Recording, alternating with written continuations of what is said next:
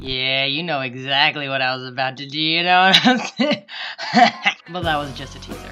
First, let's continue our discussion from yesterday. According to y'all, love is like eating a crab. It's uh, so hard, but in the end, it's so worth it. You know? Like a Care Bear pecking its nose is disgustingly cute. A tax return. I mean, you work so hard just to get something back. Maybe knowing the words to Jonas Brothers. Whatever, that's questionable. Y'all are still high on Valentine's Day. Smell it on you, but that's good because today we're talking about.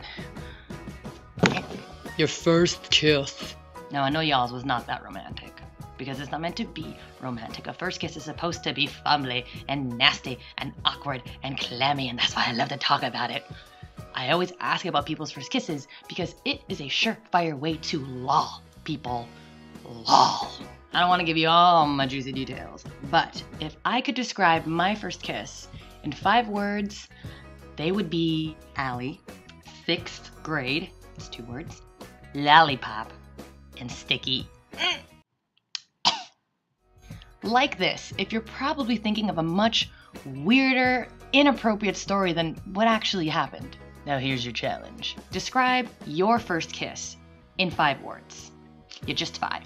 If you wanted more, then why don't you just start your own blog? Conceited. Hmm?